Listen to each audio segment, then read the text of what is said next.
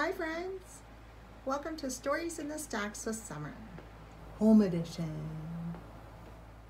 My name is Summer Reyes, and I am one of many dedicated volunteers at the Keizer Community Library. Our sweet Keizer Community Library is a nonprofit organization, meaning we rely on volunteers, monetary donations, book donations, and we collect library card fees to keep our library going. Right now, friends, we are asking for donations. We are accepting monetary donations and book donations. You can find out how to give those right on the library's website at keizerlibrary.org. And friends, you can also find out how to volunteer at the library right on the website. Friends, thanks for coming back this week to join me for a couple stories in the stacks with me, Summer. I have an idea, friends.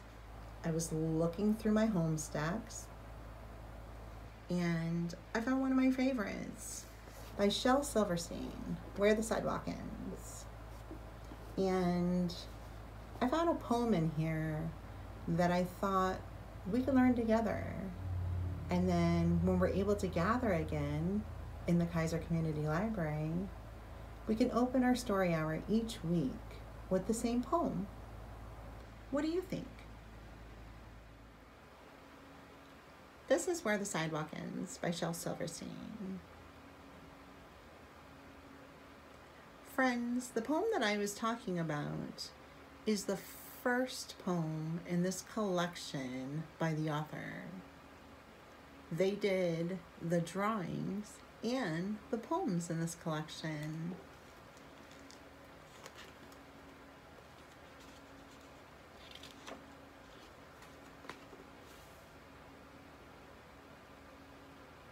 And the poem is titled Invitation. Are you ready? If you are a dreamer, come in. If you are a dreamer, a wisher, a liar, a hoper, a prayer, a magic bean buyer, if you're a pretender, come sit by my fire for we all have some flax golden tales to spin. Come in. Come in.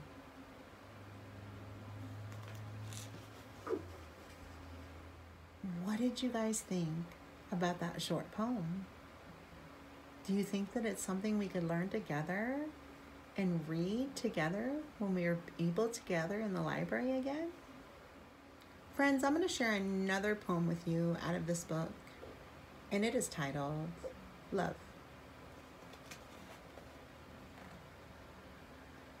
Ricky was ill, but he's home with the flu. Lizzie R.O. had some homework to do. Mitchell E. probably got lost on the way. So I'm all of love that could make it today.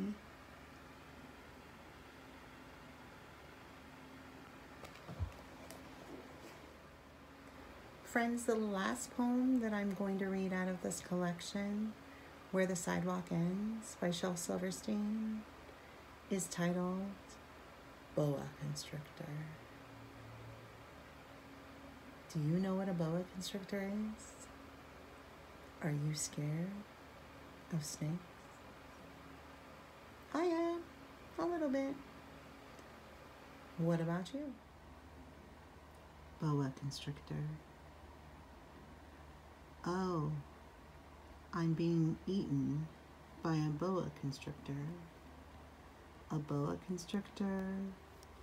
A boa constrictor. I'm being eaten by a boa constrictor. And I don't like it. One bit. Well, what do you know? It's nibbling my toe. Oh, gee, it's up to my knee. Oh my, it's up to my thigh. Oh fiddle, it's up to my middle. Oh heck, it's up to my neck. Oh dread, it's up to my. Friends, what did you think about that one? Are boa constrictors scary? There are a bunch of fun poems in this collection, friends.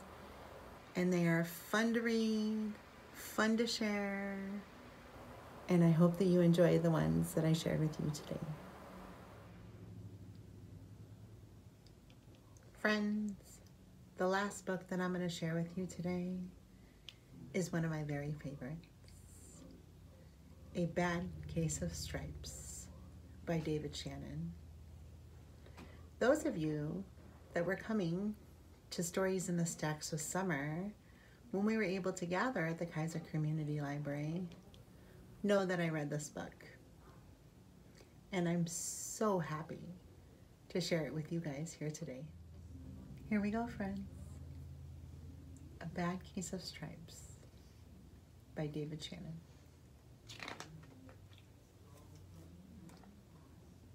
Here we go, friends. A Bad Case of Stripes.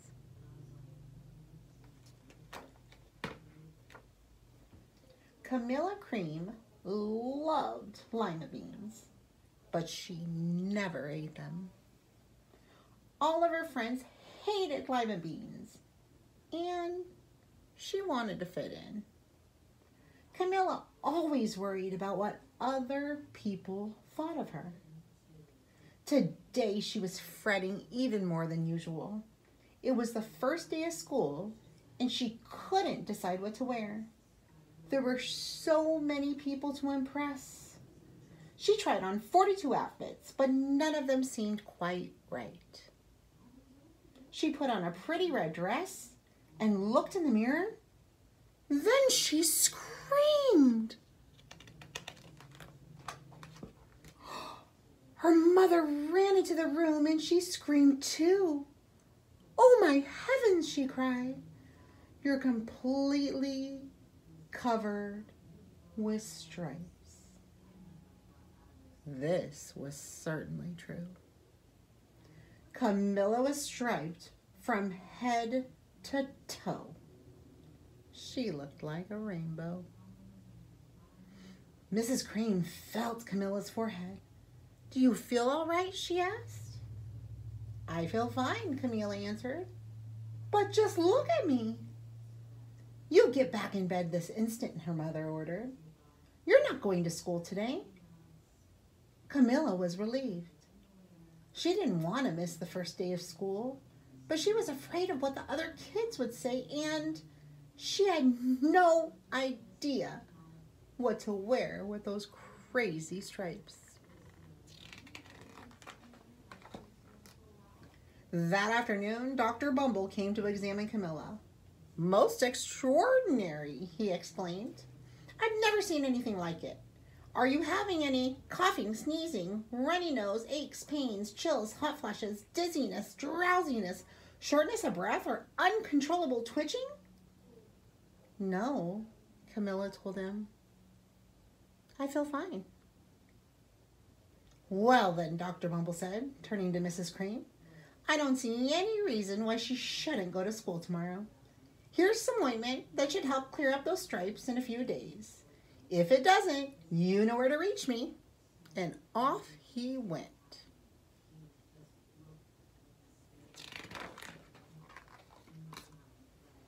The next day was a disaster. Everyone at school laughed at Camilla. They called her Camilla Crayon and Night of the Living Lollipop. She tried her best to act if everything were normal. But when the class said the Pledge of Allegiance, her stripes turned red, white, and blue, and she broke out in stars.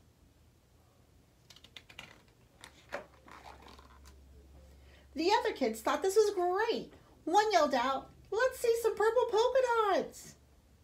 Sure enough, Camilla turned all purple polka dotting. Someone else shouted, checkerboard! and a pattern of squares covered her skin. Soon everyone was calling out different shapes and colors, and poor Camilla was changing faster than you can change channels on a TV.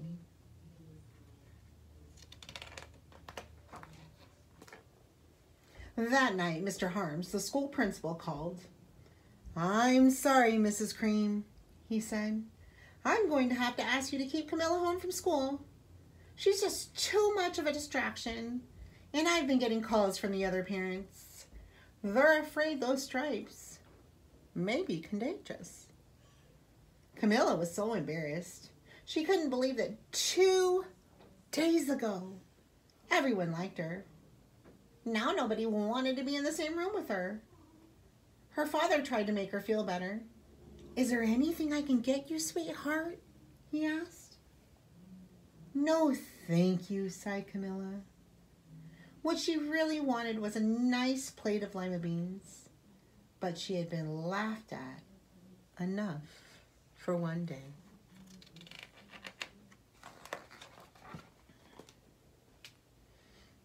Hmm, well, yes, I see, Dr. Bumble mumbled when Mr. Crane phoned the next day. I think I'd better bring in the specialist. We'll be right over. About an hour later, Dr. Bumble arrived with four people in long white coats. He introduced them to the Creams. This is Dr. Groop, Dr. Sponge, Dr. Cricket, and Dr. Young. Then the specialist went to work on Camilla. They squeezed, jabbed, tapped, and tested. It was very uncomfortable. Well, it's not the mumps, concluded Dr. Groop. Or the measles, said Dr. Sponge. Definitely not the chicken pox, put in Dr. Cricket. Or a sunburn, said Dr. Young. Try these, said the specialist. They each handed her a bottle filled with different colored pills. Take one of each before bed, said Dr. Groop. Then they filed out the front door, followed by Dr. Bumble. That night, Camilla took her medicine. It was awful. When she woke up the next morning, she did feel different. But when she got dressed, her clothes didn't fit quite right. She looked in the mirror, and there, staring back at her, was a giant multicolored pill with her face on it.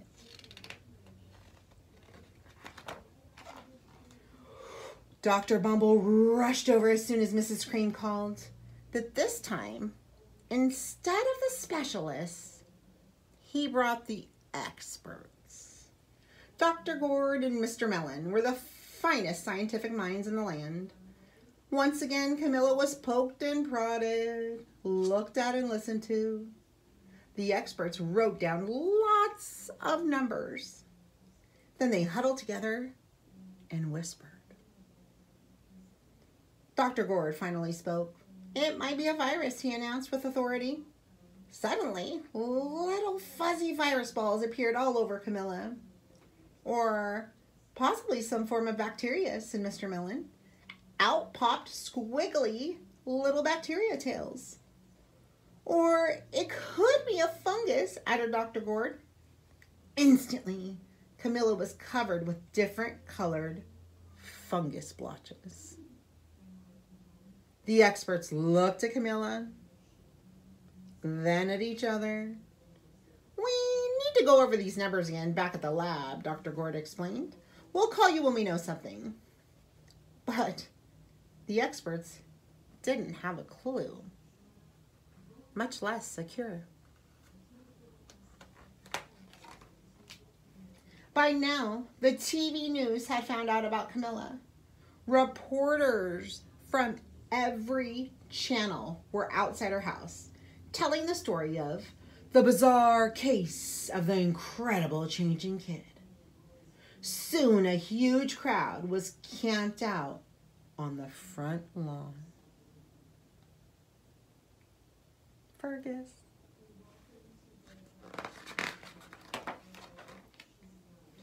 The creams were swamped with all kinds of remedies from psychologists, allergists, herbalists, nutritionists, psychics, an old medicine man, a guru, and even a veterinarian. Each so called cure only added to poor Camilla's strange appearance until it was hard to even recognize her. She sprouted roots and berries and crystals and feathers and a long furry tail, but nothing worked.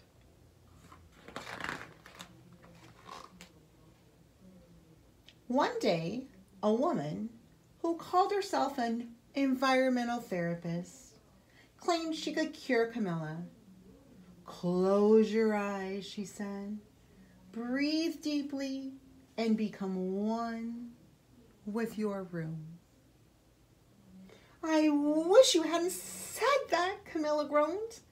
Slowly, she started to melt into the walls of her room. Her bed became her mouth, her nose was a dresser, and two paintings were her eyes. The therapist screamed and ran from the house. What are we going to do? cried Mrs. Cream. It just keeps getting worse and worse. She began to sob.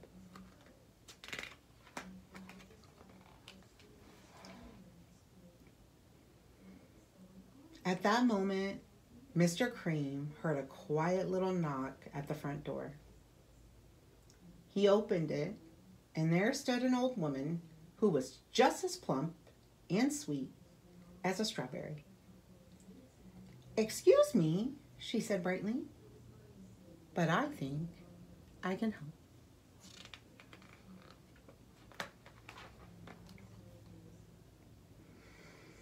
She went into Camilla's room and looked around. My goodness, she said with a shake of her head. What we have here is a bad case of stripes.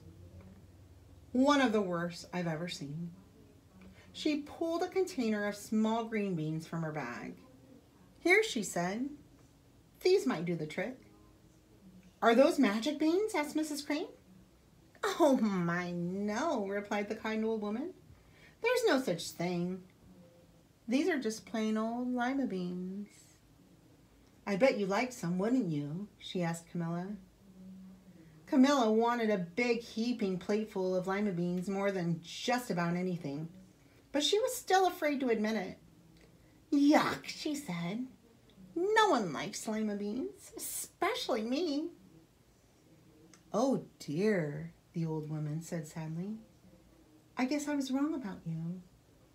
She put the beans back in her bag and she started toward the door. Camilla watched the old woman walk away. Those beans would taste so good, and being laughed at for eating them was nothing compared to what she had been going through. She finally couldn't stand it. Wait, she cried. The truth is, I really love lima beans. I thought so, the old woman said with a smile. She took a handful of beans and popped them into Camilla's mouth. Mmm, said Camilla.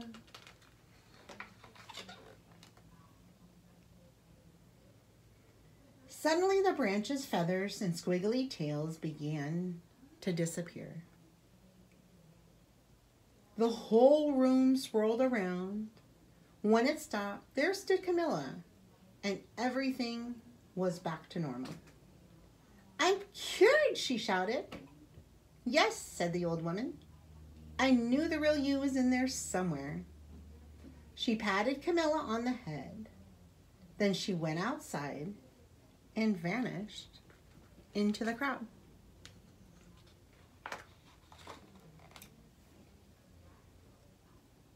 Afterward, Camilla wasn't quite the same.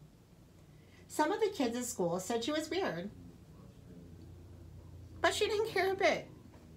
She ate all the lime she, lima beans she wanted, and she never had even a touch of stripes again.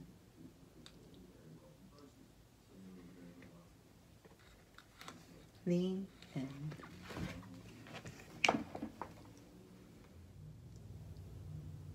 Hi friends. I hope that you enjoyed A Bad Case of Stripes. It is one of my favorites because I think it's important to celebrate how we all are different. All right, friends, I'm going to switch things around here on my desk and we are going to do a small art project together, one that I like to call freestyle creating. That mean to you guys? Freestyle creating. Any ideas? To me, it means you just create. You kind of go through your home with a grown up, collect things, pens, pencils, paints, recyclables, anything that you can create with. Sometimes we can find magazines that we can use to cut out pictures and words with a grown-up's permission. Sometimes we can find things outside that we can use to make prints and tracks with to create. I am going to gather some things just right here at my desk and come back with a short video. All right, friends, welcome to everyone's favorite part of Story in the Stacks with Summer, the art, creative time. As I said earlier, this week we're just gonna do a little freestyle creating. So what I've done, friends, is I've gathered a few things from right here at my desk, and then I also gathered just an egg carton that I found right in the recycling bin. And I'm not exactly sure if I'll use it or not. All right, friends, what I have here is just a white sheet of printer paper. You could ask your grown up for the supplies that you need for your freestyle creating. And I just gathered some random paper that I found in my desk. I also grabbed my scissors. I got these fun scissors that cut a squiggly line, a glue stick, and friends, I have just this recycled container that contains markers and colored pencils in it. And I pulled those out from the drawer. What did you guys find? Friends, I decided to take this egg carton and smash it. So I'm just using my fingers here to break it open. Just kind of flatten it out. What did you gather at your desk or in your recycle bin? I know some people even have craft offices in their homes. All right, friends, so this is flattened out. And one thing I know about this particular egg carton is that when this got flattened out, there was a heart shape here. And I'm just gonna use my fingers to tear some of those shapes out. There are four of them here on this egg carton. What have you found? What are you working on?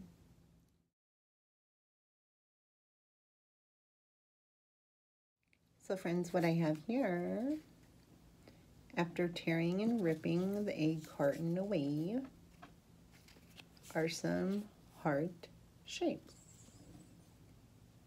No they're not perfect, but art doesn't have to be perfect to anybody but the creator. And friends, I just have to let you know a little correction that the A carton does not belong in the recycle bin if you live in Marion County. What I'm going to do now is just take some of my markers And I'm going to color these hearts here. What are you guys doing? What are you creating? Are you creating while you're watching this video? Or are you watching and then you're going to go create? I sure miss gathering with you guys. It was always so much fun to gather around that table and do crafts and create with you guys.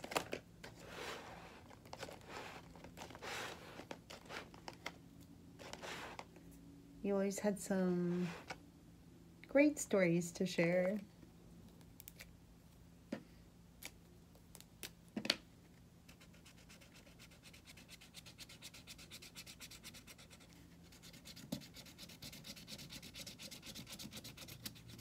Alright friends, so, oh, put a little bit more color in here. So I just have one heart done here. Just added a little color to it. And I'm going to continue with my other hearts until they're filled with color.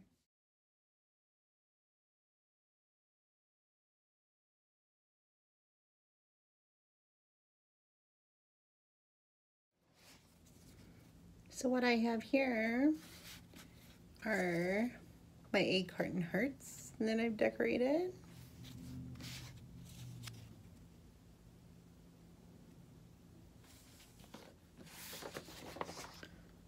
So friends, now what I'm gonna do is I'm gonna take this green paper that I found and I'm going to use my regular scissors very carefully only with grown-ups around.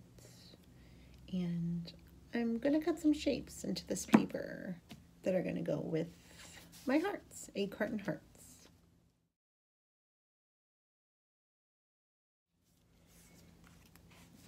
All right, friends, what I've done here is cut four shapes, oval, long oval shapes out of the green paper. And what I'm going to do is look for a different glue. My glue stick probably isn't going to work to glue these egg carton hearts right onto these long oval pieces and create a butterfly. So I'm going to look for another glue in my desk and glue these together and keep going in my freestyle creating. What are you creating, friends? Or if you're just watching this video and you're going to create later, what are some of the thoughts and ideas that you're having?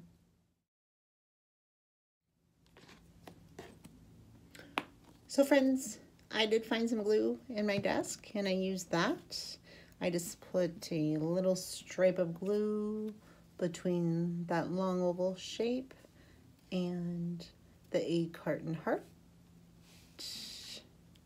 You could wait some time for these to dry if you're creating like I am, or you could just move on like I'm going to.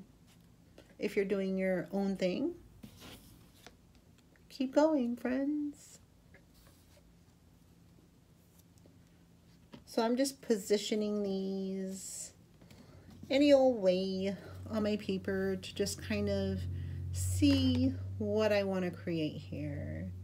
And I actually think I'm going to pick them up and uh, create some sort of background here on the white paper first before I attach these.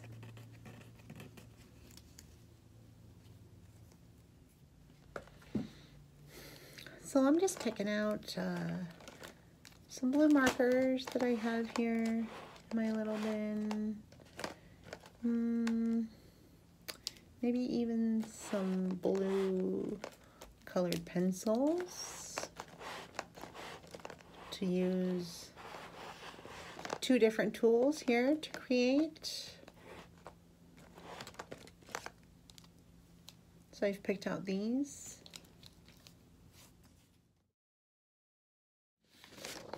It sure feels good to scribble. I just took those markers and colored pencils and scribbled. Friends, if you're going to do any sort of scribbling art, you always want to make sure to have something to protect your surface down. That's something that you could ask your grown-up for.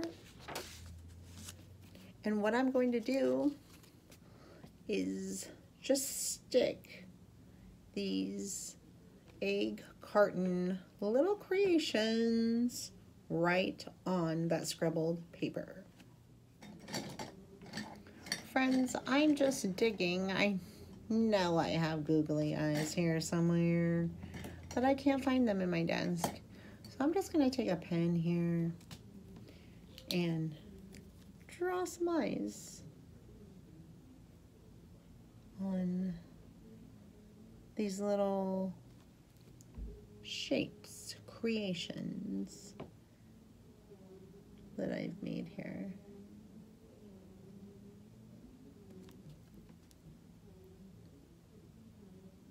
Are you still gathering ideas? Or are you creating in your space like I am?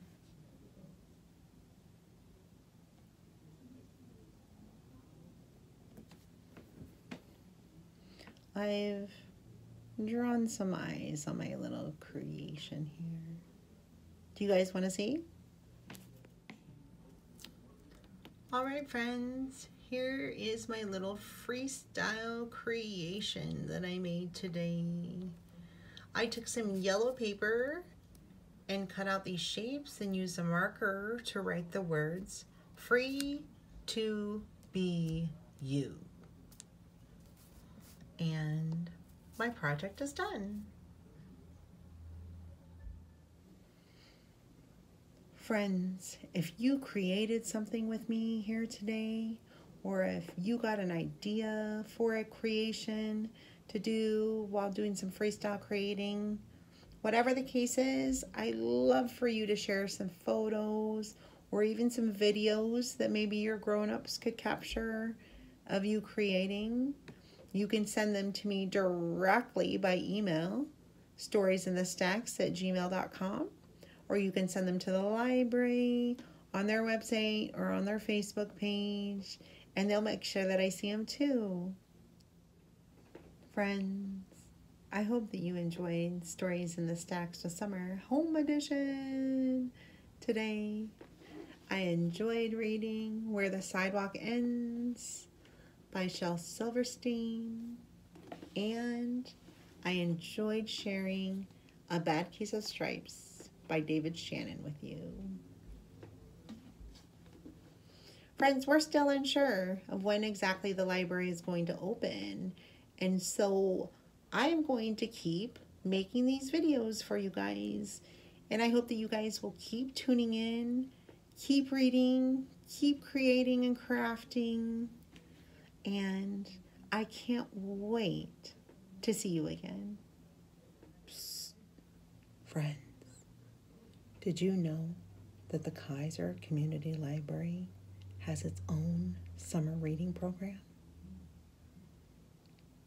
Did you also know that the Keizer Community Library has its own virtual book club for third, fourth, and fifth graders?